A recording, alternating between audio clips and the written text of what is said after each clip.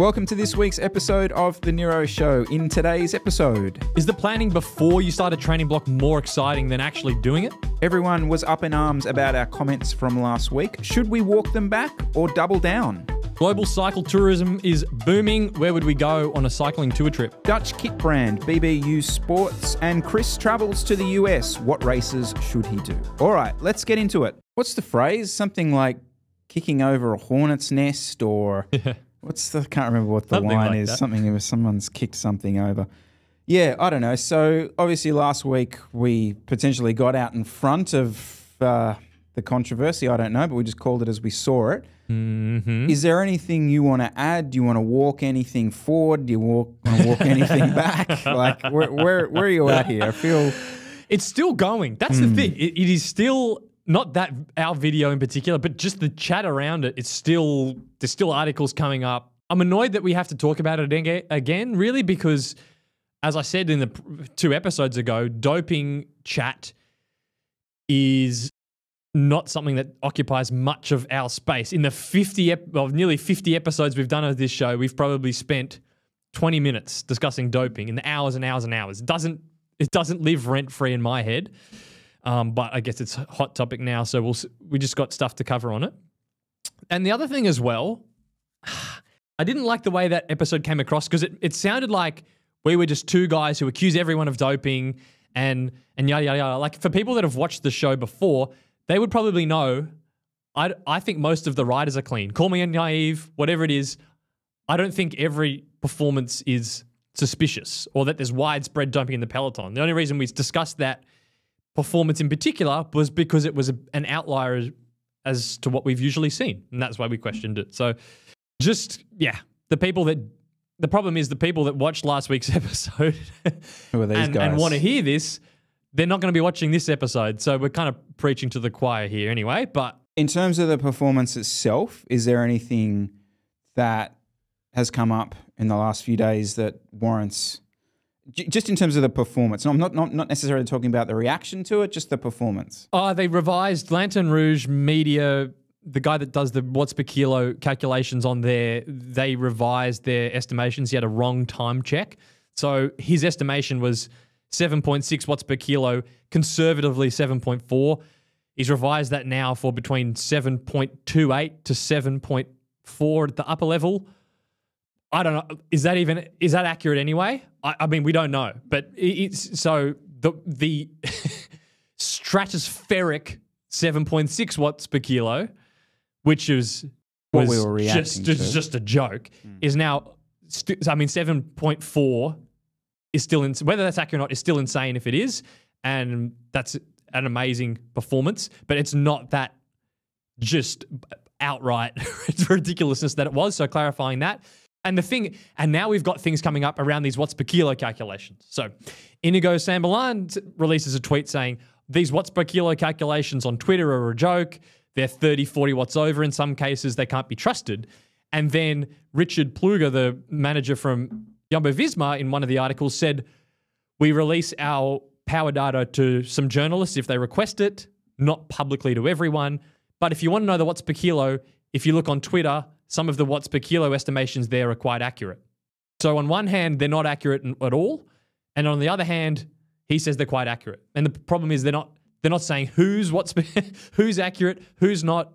So we don't know. But isn't isn't this the problem though? Because ultimately, what we were asking for last week was just clarity on this, Mm-hmm. you know, and it was, I suppose, a pretty broad suggestion. I Mm-hmm. think you phrased it something like, "Don't we deserve an answer?" or something like that. Would I feel like I deserve an answer? So Oh, it's uh, an analysis An at least, not an answer. You're never going to get an answer. Doesn't ex- it, hmm. an answer is impossible. Hmm. But an, ana- a, a- an objective analysis that would make sense would be yeah. That's what I mean with what- power data. okay, with so what data. would that what would that look like? Well, I I think the best step forward would be just make all the power data public from every rider. As I said in the episode before, we have the biological passport. We're tracking these riders' freaking blood day by day. We can see the power data. If you want to, in to, to, people don't really. I don't know why people don't get this, but we're tracking their blood. We're testing them for for drugs. What's the one of the best measures of whether a rider's doping or not? Their their actual performance, the physiological output. And so having the power data would be a step forward. It's not perfect. We know we talk every second episode how the power meters aren't accurate and yada yada yada. And so it's not a foolproof, but it'd be a good step forward if the power data was just accurate. It would also help the broadcast because they could show it live. Well, and and and then these things then we could just not be running off speculation hmm. from back calculated things on Twitter. And we'd have at least a starting point for, for speculation. Could it be? Could it be something where there was an independent body where the power data did go that sim- similar to a WADA, which essentially analysed performances and went, okay, here's a here's an outlier performance. Jesse Coyle, hang on, why is he suddenly doing 7.4 watts per kilo for 20 minutes? Let's let's delve into this and look into it. Like it, uh, maybe it doesn't need to be public information. Maybe it just needs to be information that's available to someone that we trust. Yes, to a body like WADA. Like, I'm not expecting Jumbo Visma to tell everyone Jonas hmm. Vingegaard's hemoglobin, but it's still tracked and it's still in a database that's tracked by WADA. So, again, power, I, I, I, I think having that power data tracked would be a, a good step forward in the, the anti doping. It doesn't mean, oh, you've done 7.4 watts per kilo, you've doped. But it would be a flag and then that would then put more pressure in terms of the anti-doping efforts on the people that are doing the most insane watts per kilo. I think that's fair. And then two idiots on a video podcast wouldn't be waking up the next day after a show and going, "Oh, that looks like a bit of an outlier." So I want to. Can I just? So the Yeah. other thing as well, in terms of this um, analysis, because we've seen some.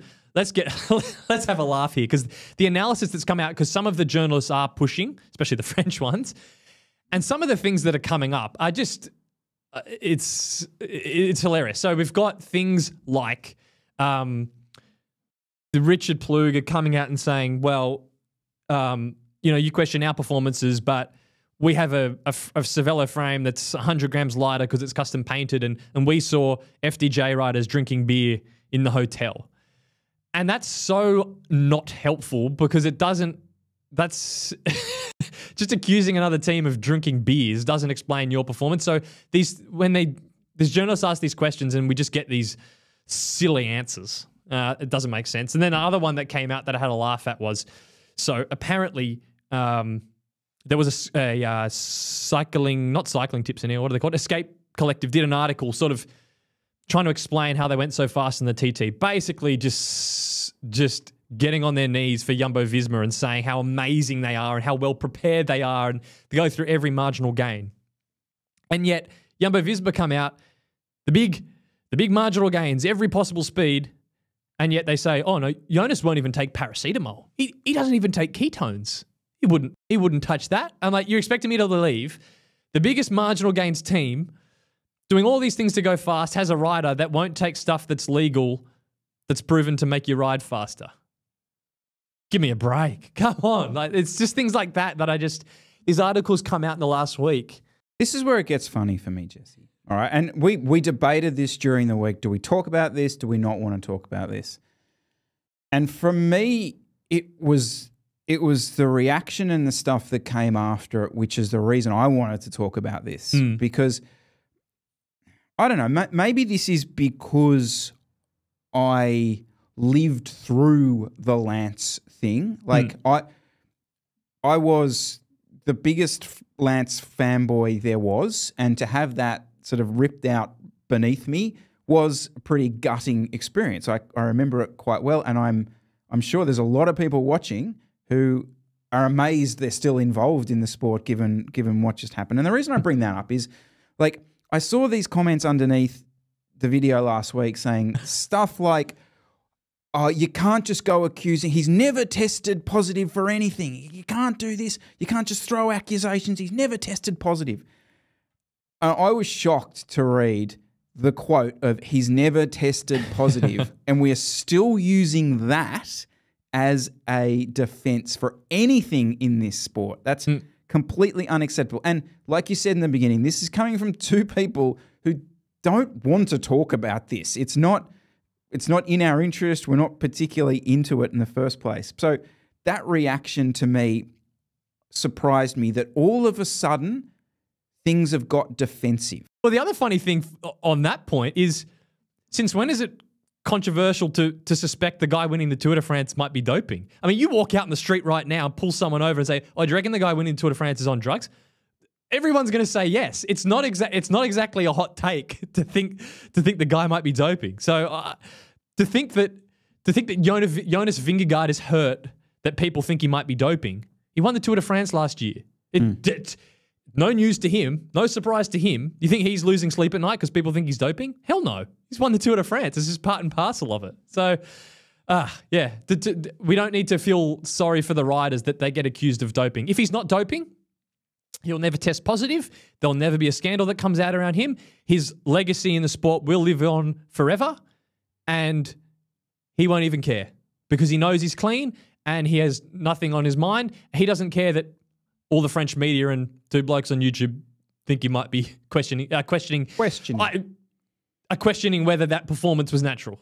That he doesn't care. If you're natural, you don't care. People think I'm doping. I get accused of doping to win an A grade career. Do you think I am like offended or cry? No, it's just I know I'm clean. It doesn't matter. So these people sort of in the comment must look. It's the Tour de France is on. All his fans and the people would just get. They can't like. I, I think Jonas Vingegaard's fans get more offended that he gets hmm. accused of doping than Jonas Vingegaard would because if hmm. he knows he, he knows he's clean, he probably doesn't care. Yeah. And I mean- and actually, the team would probably get more offended because they're the ones that have to defend this sort of stuff. I I hear what you're saying, but I don't feel like that was the reaction of just the the Danish. Of course, that's the case. Like if after Cadel had won the tour, like these two idiots get on a podcast and say Cadel's doping, you know, Australia, you're all cheating, blah blah blah. Of course, we all would have been up in arms about it and sort of gone. So yeah, I, I, I completely understand that, but there was there was certainly enough of a response from people who I don't think are in that bubble, mm, okay. who are have suddenly. And I remember when we when we were talking about this, I thought we.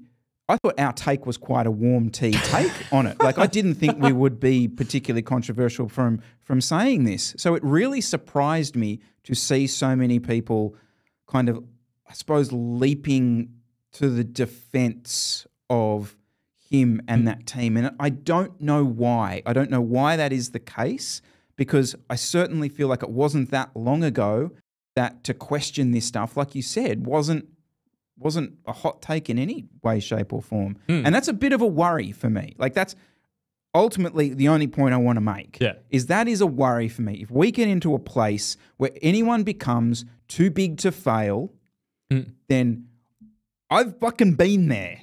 All right. And that is a bad place. I I can't believe the sport of cycling survived the Lance controversy. I said that to you during the week. Like the absolute bombshell that that was, you know, and that was because this man became too big for the sport and we couldn't question him. So I don't know. Um, Can I confuse this even further? Yeah, right, because my opinion is right. This is going to sound really confusing.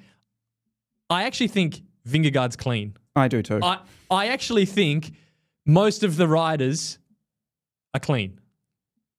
I, I find it hard to believe they're doping.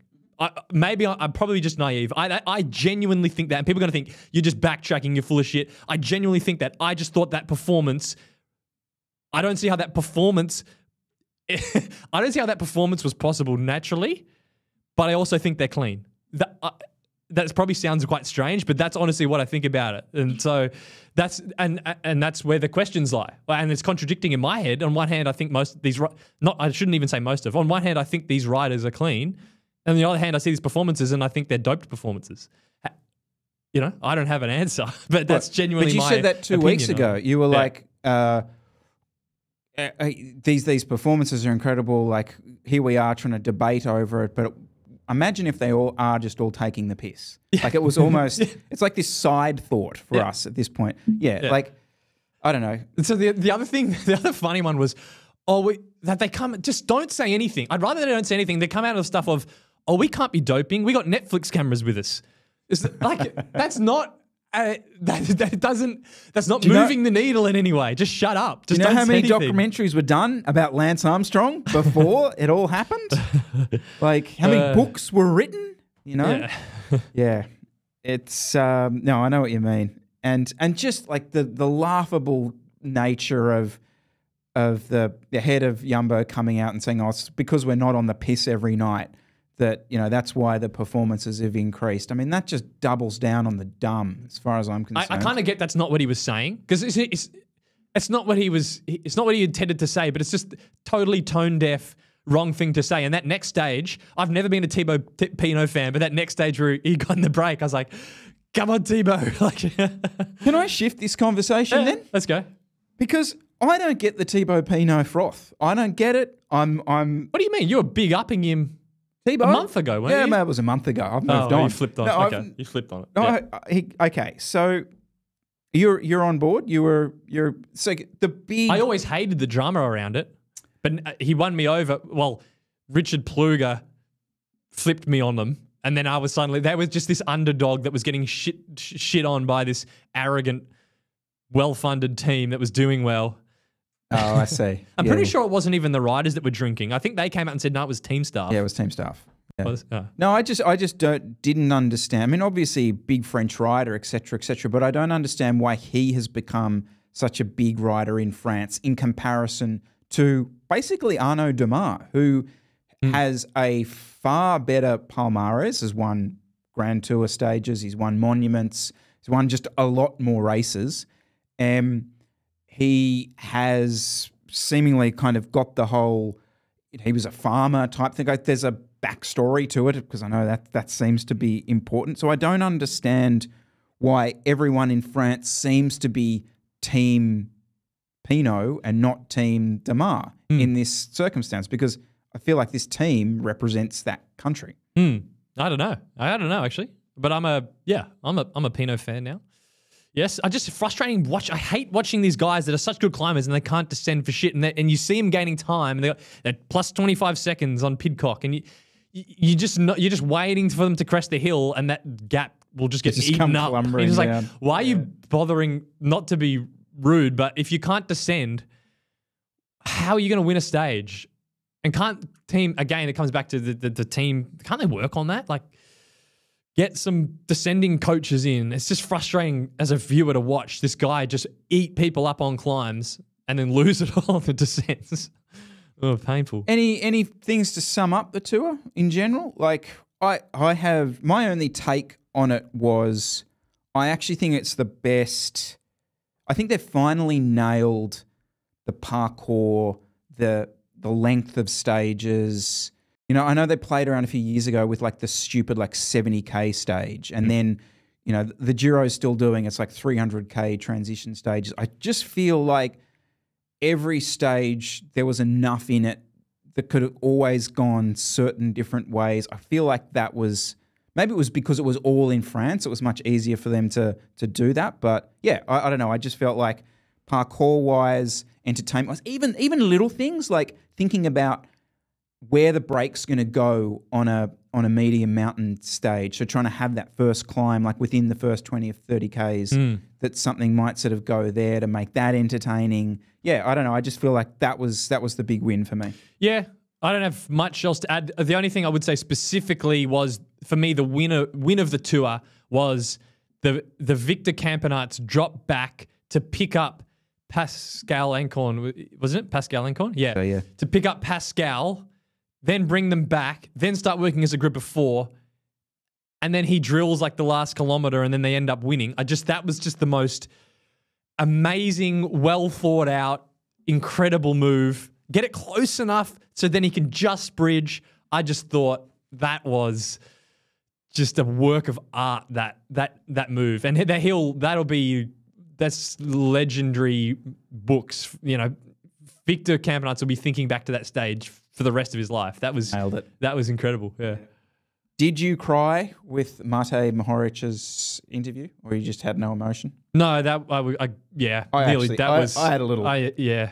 He's just a I don't know what else what what um what can I say? What adjectives can I add to that? It was uh just the best, most down to earth, just amazing. Just I don't know what to say. I just Yeah. loved. I just loved because that that is the mental mindset of me going to every race. Hmm. You just turn up and then you're like, oh shit, everyone else is really good. what the hell am I going to do? And Yeah. just to hear someone like him say that and the self doubt that he had. Um, I just yeah. I also like, really like the part about how you get to the end of the race and then you really have to, you're having to just dog on everyone else to try and win the tactical game. And it's just so eat dog and dog, and it's not for everyone, and it's actually quite horrible and a part of racing that I never liked.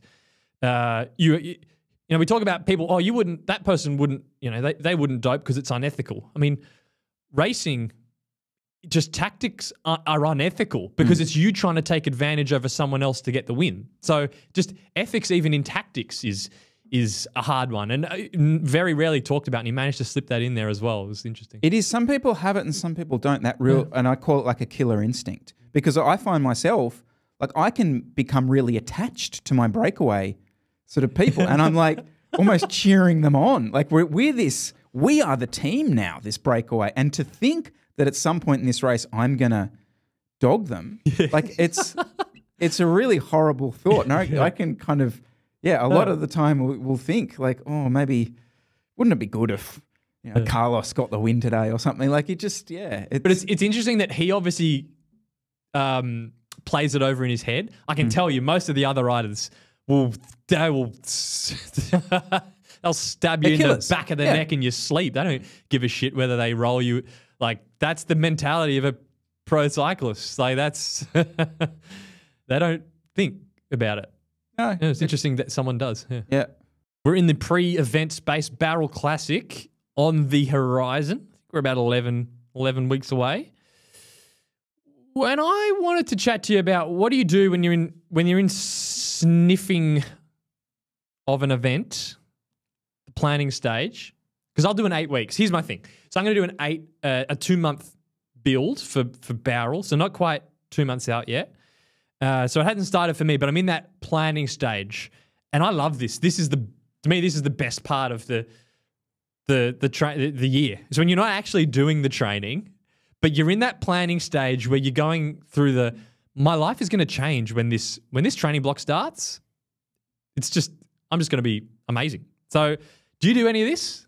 I have no idea what you're talking about. Really? I have no idea. I That's, no, I, I don't, don't do think like this at all. I yeah, I, I'm in awe of the way that you can just separate or plan your your life and uh, events to this to this goal. I just can't get around that. I really can't. And maybe it's because I'm on the I don't know what is it the, the no weeks off the no plan. weeks the just sort of tr- tr- treading water plan or I, I don't know but I just can't. So haven't you thought okay so are you going to ramp up training for Bowral or are you just going to just stay fit for it? Are you going to do anything? Do you want me to be honest? Yeah. Yeah. Please be honest. Uh, no, I want you to lie. Want me to lie? Just... All right. So I'll obviously try and do a good ride at Bowral, but it's it's not something that um, it's not a goal that I would set myself. No, okay, look, loser. No, just because I'm going to beat you. Yeah, that that's actually that's genuinely no. That I'm glad you mentioned that because that is that is a legit thing. Oh, that's a you've thrown the weight. The towel's in. Towel the towel's in. This is reverse uh, reverse psychology. Yeah. Um, no. So there's there is that, but okay. Um, yeah, there are goals that I certainly do have. Bowral's, mm. probably not one of them. Um, I'd like to have a good Masters Nationals. So that yeah, okay, maybe that is is something that is okay. is a kind of in the froth stage. But mm. it's really interesting. I don't do the. So talk me through it. Like, okay. what, how does this how does this play out in your well, head? so because right now I'm pure maintenance training, minimal, just don't do nothing kind of thing. Waiting till I get within eight ish weeks or eight to 10 Bowral, then I'll ramp it up. But, but so I start doing this thing where you, you're playing the training. Okay, what, how many hours a week do I want to be doing? Um, uh, what times of the day am I going to be right at? Oh, I'm going to get up at 6 a.m. And no, I am not actually going to do this. But you start going, I could fit in rides here on this day. And, and on Fridays, I might do a longer ride here. And um, what's my what, what supplements am, am I going to take? Because when I'm not training that much like I am now, I don't take any supplements, and I'm okay. I'm probably going to bring in my iron supplementation back in a little bit earlier, and planning things like that out. And I'm going to take creatine for this build. I might try it. When do I bring that in? Uh, just all this stuff where you've just got this idea. I basically build this mental image in my head of what my training, what that two months is going to look like training wise. And it's exciting. I love it. You just play, and you start going through. Okay, what, what I'm about seven. I'm about probably 80 kilos right now.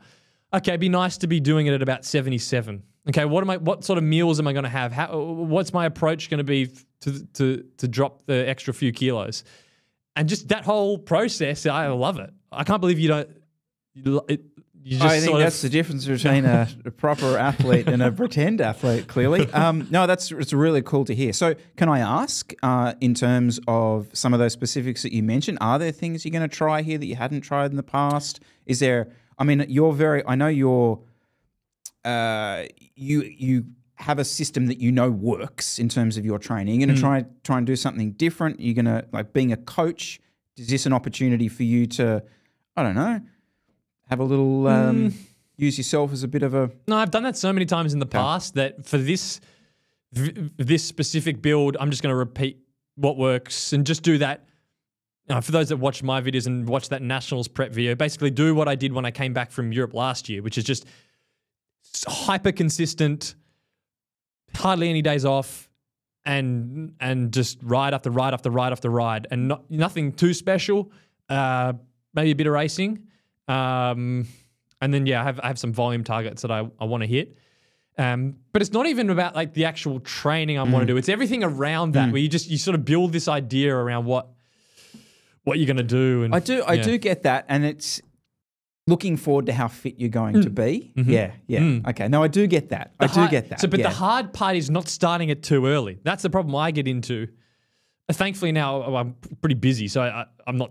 and it's winter, it's cold, so it's it's okay. But you start to plan, and then you go, "Oh, that sounds that's good. I can't wait to do this." And then suddenly you're starting your build four months out because you're so excited. So it's actually the holding off for me. I really got to wait another month before I Mm. start. Um, so it's actually for me, it's actually the holding off and just forcing the time off, and that I have to do. But ah, just interesting that you don't really, you just maybe I'm Yeah. downplaying it. Maybe, maybe I am. no, because uh, I didn't think you did. Yeah. That's why I, I put this in the notes because I thought, oh, I'm spending a lot of time sort of thinking over this training Yeah, no, I don't do that. do. I'm like, Yeah. I don't really feel like Chris does this. So this is, I can tell you why. It's because um, when we were organising the team, we were talking about this earlier on. Like you would see a race a, a certain couple of months away, and my first thing was always dread because of the amount of logistics that would go into then putting that race together, the, the transport, the accommodation kind of thing. And you know, having sort of you you basically do that for me now. I don't do any of the booking accommodation because I'm so scarred from seven years of it. I'm like, I don't know, I'm just going to turn up, please. and so I think that's probably a little Yeah. bit of it. I just can't mentally face that side of it. Mm. Um, yeah, but no, all right. So Bowral Classic, when is it? 31st of October or something? 21st, I think. 21st, of October. Yep. Get around it. Yes, 100%. it's gonna be sick. You notice this over here? No, we got some new bits and bobs. Always, every time we come in here, I'm thinking, what's? I gotta have a poke around the frames and see. Oh, okay, we've got different different bars. Very similar bikes, aren't they? When you if when you sit down and look, Yep. you start to go. There's no difference, So really. seat post, thickness of the seat post. So basically, the chapter two just chops that off, Mm-hmm. and in a sort of probably a weight saving maneuver, and the What what is the weight difference? kind of it's pretty much the same. Uh, The chapter two is lighter, so if I put those wheels Mhm. on, it's it's about 100 grams lighter than the Nero bike build. Look, to my eye, the chapter two actually looks faster. I agree. because you've got the f- better coverage over the front wheel, and the rear end looks pretty similar. Air, seat post looks slightly more aero on the air, Oh, I'd say but quite a bit more. the front end looks it looks a bit sleeker, a bit narrower on the air road, but better tucked in on the. I mean, it's just very so similar. that down tube uh, is no is probably noticeably more shaped on the Nero bike Mhm. than it is on the chapter two. That would be like when you're sitting on top of it and you're looking down. That's that's quite a noticeable difference. But I reckon you're right. Like from behind, it's geez, it's much of a muchness. It really is. Mm. What's the ride quality difference? Well, I'd like to get into that because, like, I, I honestly have come to the opinion that frames are, are now, for me, third third tier. Mm-hmm. I'm actually going tires, I'm going wheels, and then I'm going handlebars. I think handlebars make a dramatic difference to the ride quality. to the ride quality. Yep. That's a big call. It's a big call because I think what I found is the compliance in the handlebars. Like there's this thing like compliance and stiffness in the handlebars. It's you kind of think, oh, it's the same thing. Hmm. Because if a handlebar's stiff, then surely it's going to lack compliance because stiff makes you feel like, oh, it must be like you're getting lots of road buzz through your hands. Whereas I think there is a real separation between it because stiff means when you're sprinting and you're putting something through the bars, it's not flexing, Mm-hmm. right? Whereas compliance to me is more about the road buzz feel. Mm. So for me, the Neurobike's compliance in those bars wasn't great. And it probably due to the design of not giving too much away, but they were movable handlebars. Mhm. Okay. And so they probably had to do something in the way it was built. Whereas, and then I had the original chapter two handlebars on the, uh, they're called the Mana bars Mm. super compliant, like really, really relaxed. You felt nothing almost. But the problem was, I didn't feel they were that stiff. That's not why I changed them. I changed them because I couldn't get the dimensions that I wanted. And that's a whole other chat. Mm-hmm. Like, I couldn't get a 38, 110. I could only get 40, 110. And that you- to me is too wide. So are you saying that they're both stiff and compliant, I- or that they're both they're either ends of a spectrum and you got to choose where you sit? For my riding so far, they're, they're, they lean more towards the stiff than the compliant aspect. Okay. And there's another aspect to this is because the shape of the um, the curve is really thin.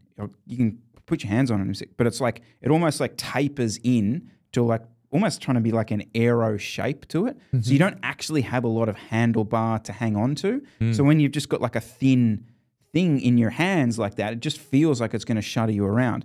The ENVE bars, that's those aero ENVE bars which are on the gravel bike, which are completely the most inappropriate gravel bike bars known to man, are completely the other end. So stiff that they're borderline unrideable. Like, especially off road, it's horrendous. They are planks of carbon designed, obviously, to hmm. just be pure, pure stiff. Hmm. And so you asked me about the ride feel of it. So I've had those two different bars on it, and the, I've had two different wheel sets on it. And honestly, it's every time I change something like that, I just feel like, oh, this is different. This is completely different.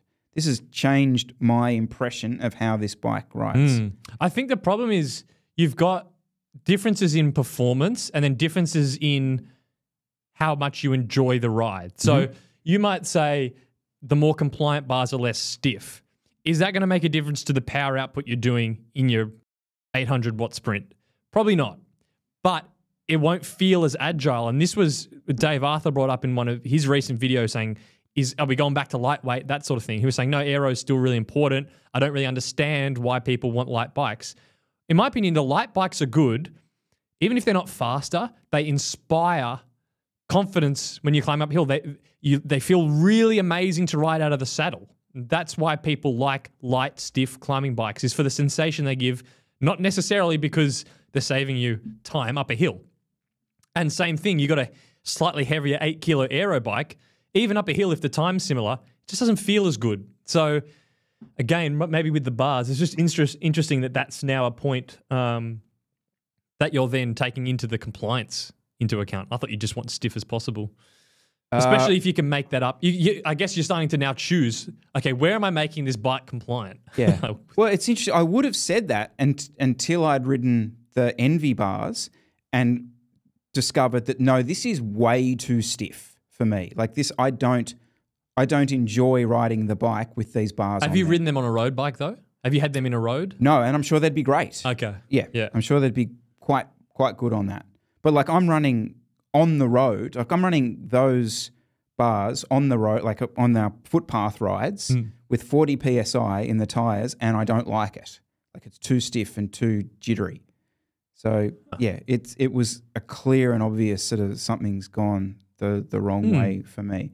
Um, But you, but that twitchiness feeling, you would might prefer on the road bike because you want that. yeah, You you, you want it that you want that instant feeling of stiffness. Whether that makes you actually faster or not, it doesn't really matter. Well, what what I would say about that actually getting you faster stuff is what position do, do the bars allow you to get into, Mhm. and that's where I do think there are gains to be had in terms of actual speed. And the, the thing with those ENVE ones is it's really nice to put your kind of palms on the like on that hood section and get into like a super super aero-y nice position definitely.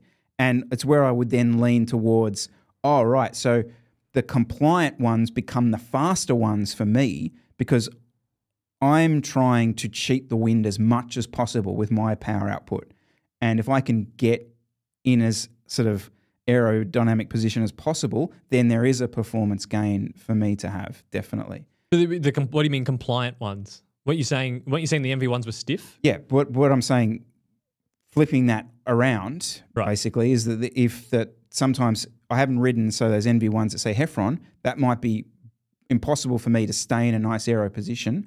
Whereas the the Far Sports ones, which I found to be nice and compliant, would potentially allow me to, or actually have allowed me to be in a pretty aerodynamic position for for a longer. Oh, I'm Yeah. surprised that bars. I mean, I've yeah, I'm making that much of a difference.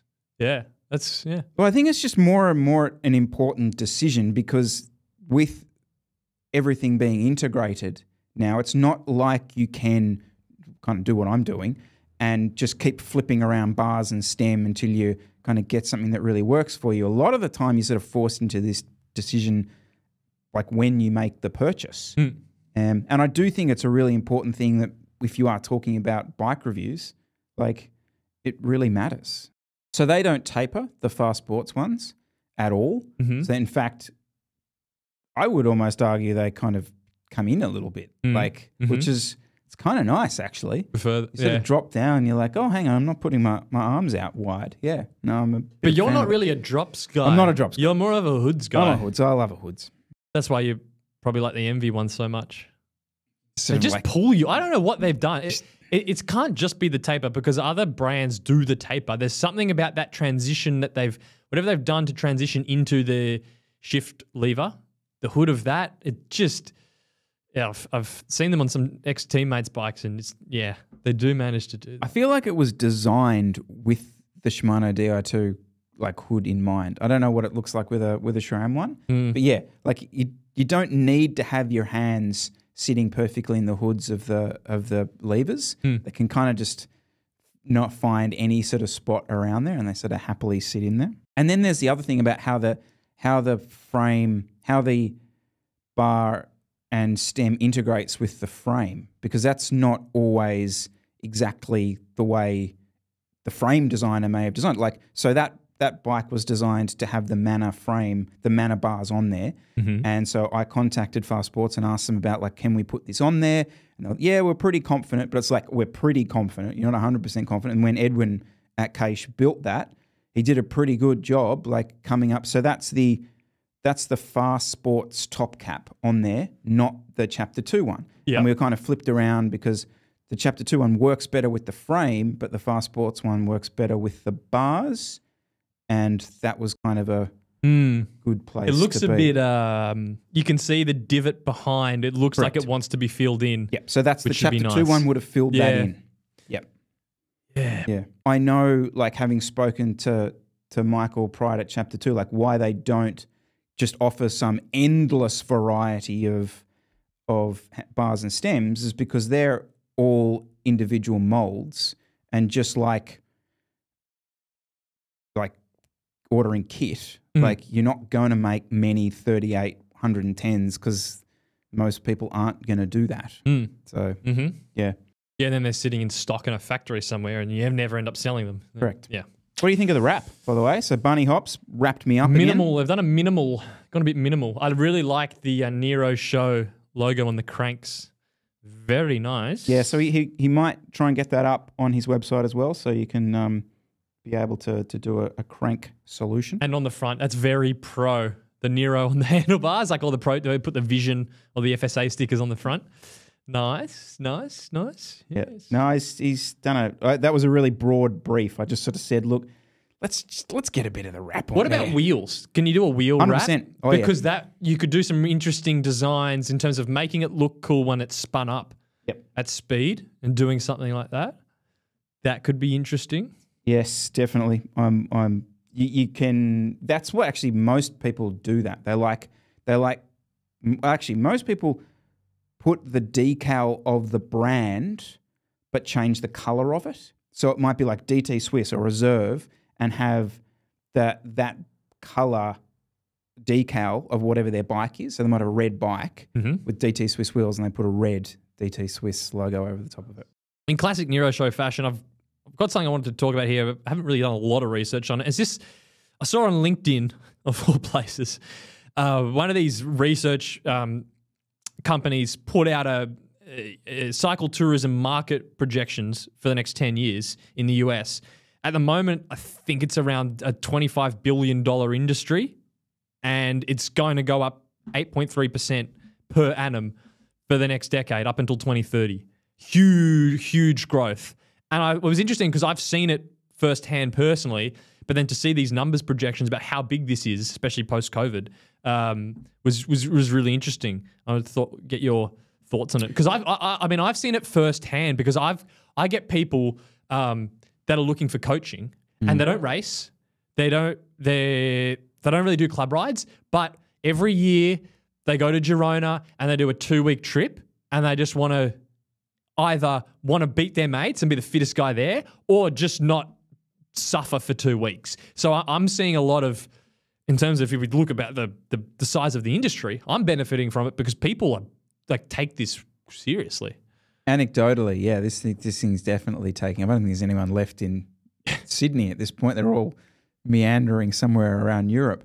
Um, yeah, it's funny what you said there about wanting to beat their mates because that's a really common. Like I actually ran into someone the other week in the park, and they were sort of saying something similar. They're going to go to the Pyrenees. They're going to go with a bunch of guys. Oh, we don't race. We don't race. Any of that kind of stuff, etc. It's like, oh, but I'm going to get some. I'm going to get some lightweight carbon wheels for it, and sort of you delve a little bit deeper, and all of a sudden, uh, the ego is certainly going to play a role during it. Definitely. Um, I'm not surprised to see this sort of growing. The other kind of interesting, there's not necessarily relevant to you as a coach, but the e-bike stuff here because that's I know something that I think it's Top Sport here in in Sydney do when they they now offer e-bikes for people going to do the Pyrenees and that sort of stuff because now instead of having to employ Jesse Coyle as a coach for a couple of weeks, it's like, oh good, we'll just um, do some e-biking. E-bikes. Yeah, I think a huge cut of this industry would would be e-bikes. So they got here. Um, they've broken it down. So the majority is groups or, or, or friends, and then the next biggest one is just people solo, and then the smaller groups is, is family or couples, which is a smaller piece. But by far the majority is is groups. And it's where have you seen people going? I mean, I've just seen Well, this- Girona. It's it's just everyone goes to Girona. So my question, okay, no, where would you go? If you were going to go cycle touring, Oh, mm. So my thing would be I wouldn't go to one of the main sort of routes because I kind of feel like I could probably do that, and there's enough sort of there- there's enough information out there. I'd love to do Japan, Mhm. Japan, somewhere like that, maybe even Vietnam. That sort of part of the world for me would be the the perfect cycle tourism location. I feel like Girona would be more of a training camp Hmm. style place. Would be would be good too to, to do that. Ah, mm, Europe, Switzerland area. I just that that it's just Switzerland is, and any of those any of the other uh, adjoining countries around that belt of that Alpine region is just amazing. Just just yeah, to to, to do a just loops and loops and make my way through there would be amazing. When I was living in in Ireland, we Deeks and I went down to the, the base of Alpe d'Huez. It was a, a English couple running like a guest housey type thing, which was pretty much set up like this. It was for cyclists. They turned you turned up. They did your meals. They even took you out in their van to drop you down the hill to start your rides and all that kind of stuff. King of the Mountain. I don't think they still exist, but yeah, at that point, it was kind of just starting out. Mhm. Um, yeah, I I wouldn't probably go back there. No? I think I think yeah, Japan. Give me Mhm. a crack over there. Mm. All right, Jesse. Question without notice. I'm gonna I'm going to airdrop you a link.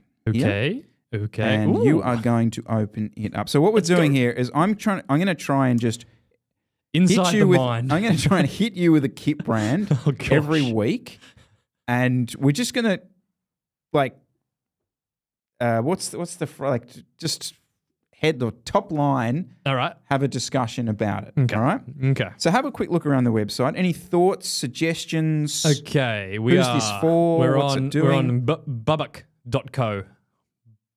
The BBUC kits. Yep, I'll run with that. Okay, we are going. We are going. First, I can. This is way too fashionable a looking website for me. We can. T- we've got the text. We've got the posed photos. no one's riding their bike in any of the photos. No, That's no one. like. No one has a helmet, and this this woman actually doesn't even have cycling shoes on.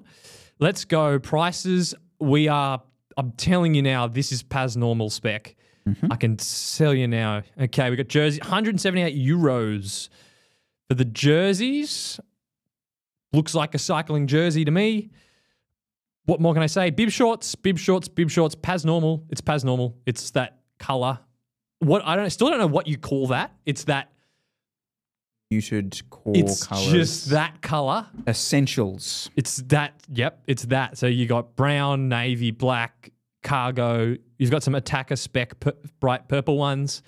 178 euros. Okay. So to me, this hits a lot like a, a New Balance, um, New Balance like apparel thing. Mhm, Um, That's the sort of fluoro-y, like 80s decals with those sort of muted colors. I think they have a range here called the what is it? The uh, the Spirit of Tomorrow Wow. or something like that. But like So it's 600 Australian for a kit. That's up. That is up there. That is really up there. It's, it's amazing Um, there's a 600 euro kit, $600 kit Mhm. for a brand that I've never heard of. Now, I know people are going to jump, oh my God, these guys have been around for decades. They're doing amazing things.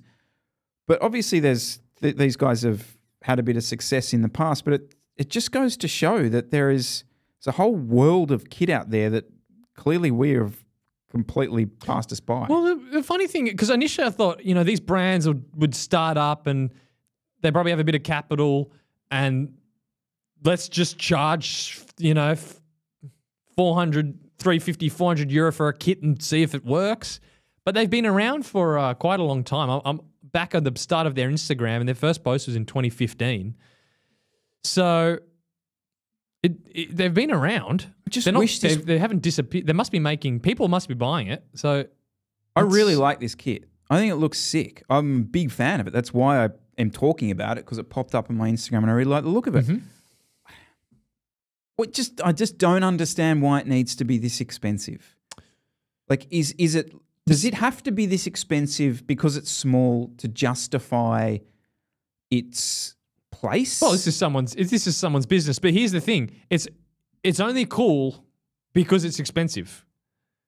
So it just feeds itself. People want to wear. People would want to be wearing this because it's because it's expensive and edgy and cool, right? But it's not expe- It's it's it's not edgy and cool if it's cheap. So the price justifies the branding of it, and the branding of it makes people want to buy it. And yeah, it the thing is, it's unapolog. What I like about this is this is unapologetically fashion. yes, I agree. It's not trying to. They're not spinning some story or doing anything. It's just this is cool looking kit. If you want to look cool, pay your six hundred dollars and off you go. Yep. And I, I rate that. I, I think it's refreshing. I, it's probably it's not something I would buy because it's but it's clearly not targeted at me. But I, I, I appreciate the the just it's fashion. Yep, I agree. Um, But I- this stuff needs to exist because I go out to La Perouse on a Saturday morning and you see these th- these groups of three and four, and they look cool. Mm-hmm. Like that's what a twenty two year old been a few years in a corporate job and wants to do a cool hobby on the weekend wants to look cool. So this stuff needs to exist, and because people want to, yeah, it, it, it fits um, stick in the box for someone, and I rate that. I'm very surprised with your with your take, and I'm I'm impressed, Jesse. I'm very impressed. I, I totally agree with you. I'm I'm stoked this stuff exists. Um, it's yeah. I mean, I love the look of it. That uh, grey, the TSOT team jersey olive with the blue, the, the navy nicks. Yeah, totally get around that. In fact, you could even force me into a gilet here because that gilet, the purple gilet, looks pretty cool. But the thing is, I don't know why. I I kind of I'm annoyed that you're surprised that I'm for because I don't want to. I'll have a go at a brand or, or, or for something if they've contradicted on themselves or something, or there's something I genuinely disagree with. Uh, this seems like a genuine fashion business to me. I don't know why. I'm a bit frustrated that you thought I that I might. you. Yeah, Oh, I'm yeah. like, oh, You're is that what you think of me? That I'm just hating on stuff for no Yeah. reason? Only buys from uh, AliExpress. yeah. No, no, I no. don't. It's does it's doing a job. I don't know. I it's I'm I'm offended that you thought I would have a go at this brand. No, I'm, I'm, I'm impressed. Speaking just really quickly of kit, do you want to give a quick update on on stocks if there are any left of the Nero suit where we are? Oh, geez, that? that sounds bad. Now we're going to promote our own. yeah, you're going to promote. suit. Get into oh, it. Come on, do the hard disgusting. sell, Jesse. This is how you make if you don't want to spend six hundred dollars on a kit, no, uh, it was um. So the smalls are sold out. Uh, one medium left, and then there's uh, five large and five extra large left. So yeah, if you uh, large or extra large in particular, there's a few left. So go on and, and grab those if you want. I was there was a I was quite surprised at this is going to sound really navel gazy, but I just wanted to to share that the, the stories of people, some of the people were buying the kit, and this is kind of mind blowing to me. One of the person messaged me. He bought the kit because he was going over to Europe soon, and so it was a domestic shipped kit. But he wasn't buying it for him. He was buying it for a friend as a gift. Hmm. So, and I thought that was that was uh, really set me back that someone s- likes the show so much and likes the to, wants to support us and likes the kit so much that he thinks it's cool enough to give as a gift to a friend. Oh wow, Yeah. that is cool. Yeah, I can understand people wanting to buy it for themselves because they hmm. want to, su- you know, they do that. Hmm. But to to have that t- as a something someone would think of as a gift, I was yeah, that was like wow, that's Yeah, that's that's, kind of cool. Not that I spend hours just Yeah. reminiscing on their own show, but I don't know, that was quite yeah, quite cool to hear. No, I think we've been both been blown away by it. It's been been super um, impressive, actually. Us standing up here and saying it's a fantastic performing skin suit means nothing because we're selling it. So if you have bought it and I know you're going to like it, I w- it would be cool if people got in the comments and left there just for, for the people that are maybe on the fence. If, if you guys get it and ride in it, let us know what you think, good or bad. I, I'm, it's going to be good feedback because I know it's a good skin suit, but it'd be Hmm. cool f- to, for if people are comfortable sharing that in their comments, their experience with it. It would be cool. Yeah, and cool to ta- tag us in pictures of it. Um, I will be making an effort to update the Instagram page to ensure that there is a Nero Show Instagram page coming soon. Watch Mm-hmm. this space, but for now, just just tag Jesse or I in it. yeah. Coaching chat. Mm. just because you got to hear me just speak about coaching stuff now. um, couple of funny funny things have, have come up. This idea of people were wanting to know if if you're a good fit. Now I could understand a a rider perhaps wanting to know if if the coach is a good fit for them. So before getting started, they might want to have a call and and discuss that.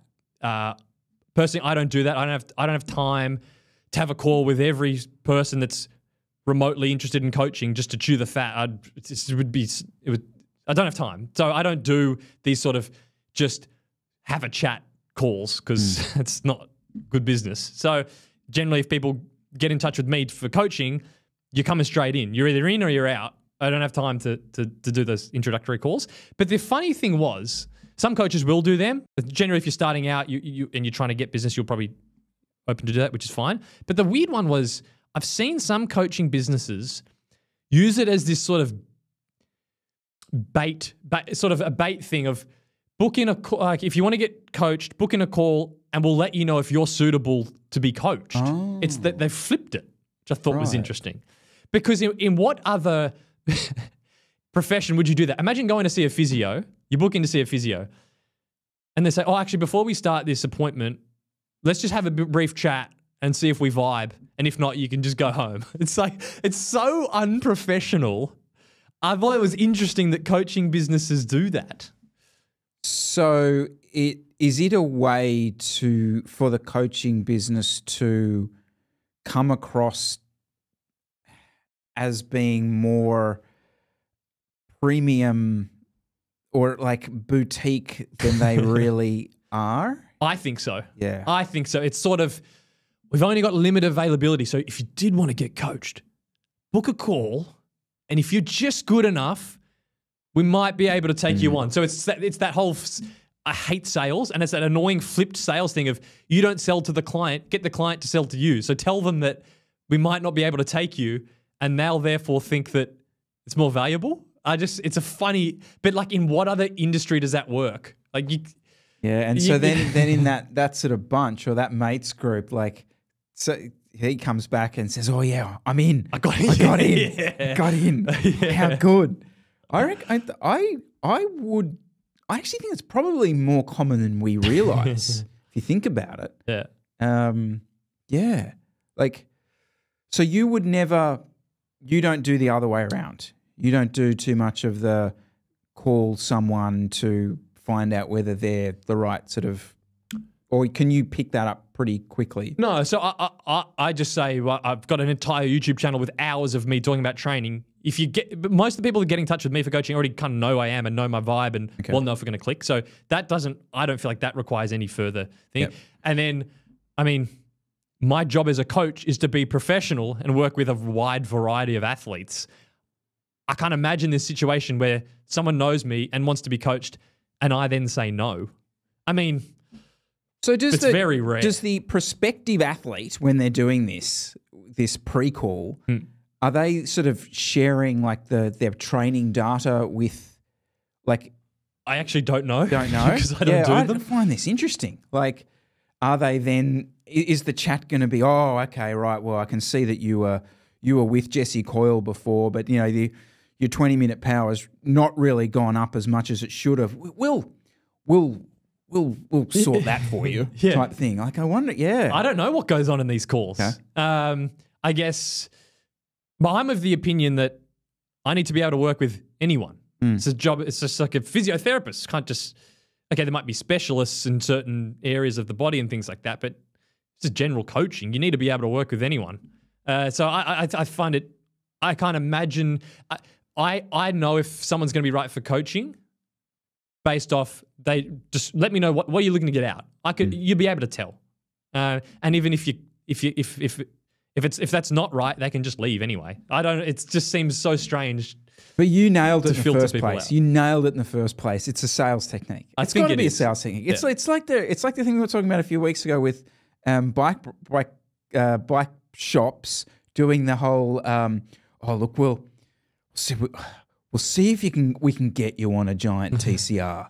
You know, we'll, I've got a see- call with I'll, HQ. I'll have a, I'll have a call with Taiwan and see if we can fit you on one. They're like, oh, it'll be recommended retail price, Yeah. but you know, they only want, you know, oh, you want the blue one. Oh, well, we're really going to have to work some magic to make that happen for you. And then it Hmm. kind of, it's almost as though it's like this reverse cachet thing that, Hmm. that gets built up. Yeah. Other one as well that that, that happen happens as well is coaches that charge a startup fee. Mhm. I don't know if you know about this, but generally coaches will charge per month, and then quite a few charge a startup fee, which could be anywhere from um, introductory fee of sixty dollars up to two or three hundred dollars. So before you start, you got to pay your first month and then this startup fee. And I can't. What are you paying for? Startup fee. Yeah. Right. Okay. So Could you- like a- would you is like a- pay- This is like an installation fee. Yeah, This is sort of It's- getting it's switched a- on. Yeah, Right, Yeah, you got to get the lights turned on. It's um. Right. So enough. what about deposits? Is that a thing that does anyone do that? Well, then you get on to the other thing I was going to say, which is so you got your your startup fee, and then you got your minimum commitment. Uh, So three month minimum or six month minimum. And pretty common. I did a, a brief look over some other coaching businesses, uh, quite a few other coaching businesses. It's almost 50 50 whether they have a three month minimum commitment. So on this, let's just stay on this. I got, That's I got classic- thoughts on both. that's right? a classic gym. yeah, Classic gym. classic gym. I got thoughts on both, right? So the startup fee. I think there's a. What are you? I mean, what are you paying? What sort of analysis are you expecting before you get coached? Because this idea that you come on with a coach and they're going to give you this amazing analysis of the writing you've been doing for the last few years to get all these insights off the bat. I, I'm, I think that's what the startup fee's meant to pay for. But you, I can say, if you wanted to do a proper analysis of someone's tr- past training, if you haven't been coached them with no context, it is it would be an entire day's work to sit there and, and, properly look through it. Because think about it, you don't know any of the sessions. All you're seeing is calendar full of files. You'd have to pretty much go through every run, label them with what the session was. It, it is a huge amount of work. I mean, I can look at someone's training and give a loose, very general, here's some of the mistakes you've been making. I think we could improve here. But really, you're paying for coaching. You're paying from what happens from here on onwards.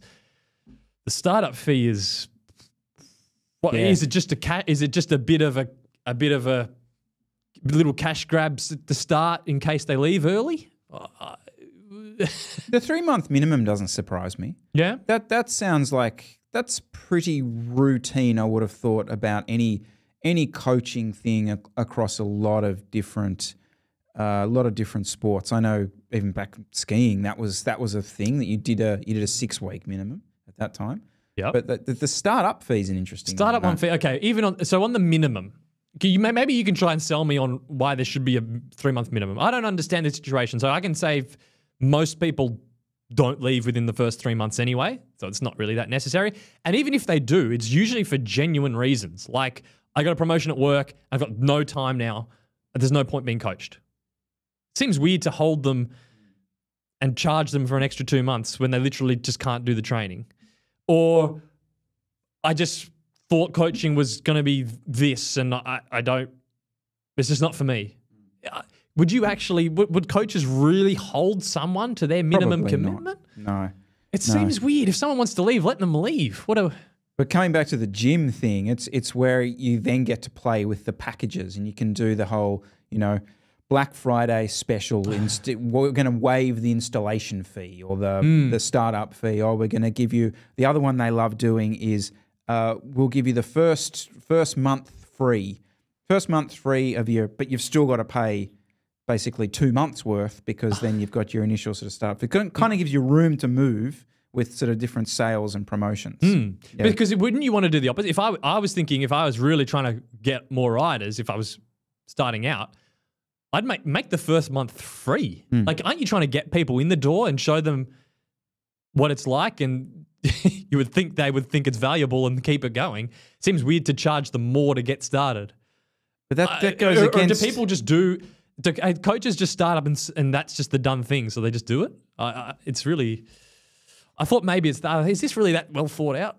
But it's it's a bit like the pre-call thing you were talking about. It's it's just another way of building the exclusivity of it. We need you. We need you to lock the first three months in, Jesse, because there's a there's a friggin' like queue of people back here, and if you don't like, if you don't want to lock yourself in, we just take one of these guys, you know.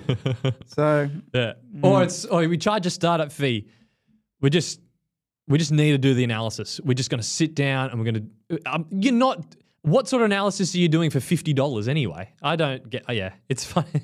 I just wanted to have a little get that one off my chest. Anyway, we just we just want to announce that Nero Coaching will be launching a hundred dollar startup fee. the first and a twelve month commitment. commitment. If you're not serious, we don't, yeah. we don't want you. Exactly. Yeah. yeah. Anyway, let us know your thoughts down below, guys. Um, coaching protocols, starting out coaching. What have you experienced? What do you think is kosher?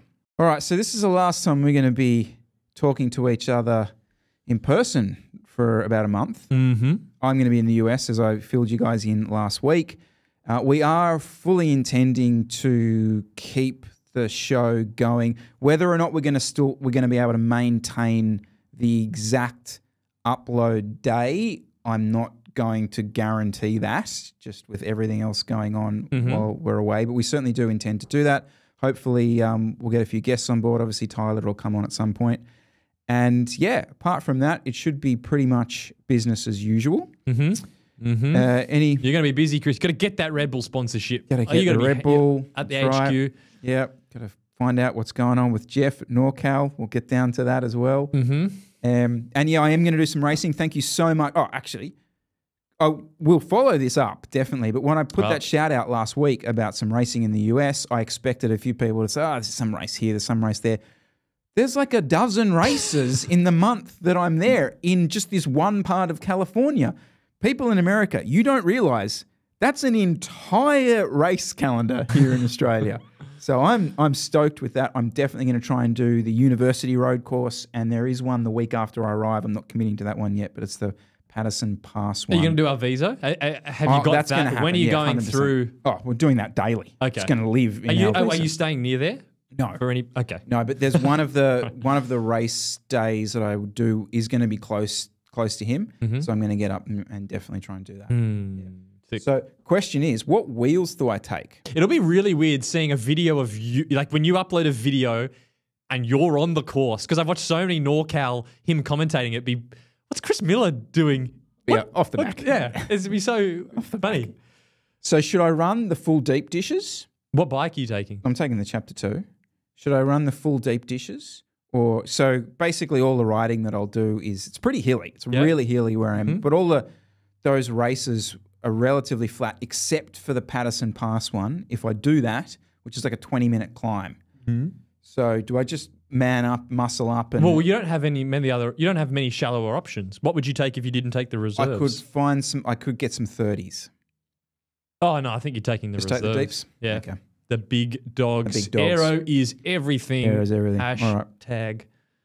We'll just go for that. But um, Yep. yeah, that's just a long outro to, to today's Sick. video, and yeah, so we'll um, we'll be doing our best over that period of time. What bike bag do you use? Uh, that's Scicon Aero. So you can leave the handlebars Yeah, on and take handlebars will that. stay on. Okay, nice. That's interesting. Get in. Yeah. My rationale for telling everyone that is to please subscribe to the channel because because we don't exactly know when we're going to upload. So, So, you need to you subscribe. need to subscribe. Or you, how would you ever How- find the video You'll never if you find didn't it. subscribe? You'll- it'll just be Chris, lost. it's a lost court. No I one know. subscribes. I know. It doesn't matter. We, The friggin' algorithm's too good. It's too good. And at this point, everyone's given up. But most people just unsubscribe and get Yeah. unsubscribed from the channel. There you go. Someone asked, someone left that as a comment last on the the, the, the doping chat we had, being like, "What are you going to do when people? Whoa, are you worried that people are going to unsubscribe?" It's like no one subscribes anyway. The- the- since the show started, you, you've gained like two thousand subs, and this show cumulatively is on about one and a half million views total, Yep. and about two thousand subs. It's just, Just no one's willing to commit. Yeah. Fair enough. Fair enough. What are we going to do when we get two million views for the show, for the Nero show? I'm going to have a party celebration. We might hit it for the 50th episode. Actually, that'd be cool if we timed good. it. Two millionth. Well, you you pay attention to the to that. Mm-hmm. Um, all right. Mm-hmm. What should we do? We got. To, I don't know. We'll have to think of something. Got to Little rap. go for a Bike rap. go for a bike ride. Bike rap. 50k bike ride. Gosh. All right, that's us done. Um, Jesse, I will see you in a month or so. Yep. virtually. And uh, yeah, guys, thank you so much for watching. Make sure to unsubscribe from this channel, like this video, and we'll speak to you real soon. But.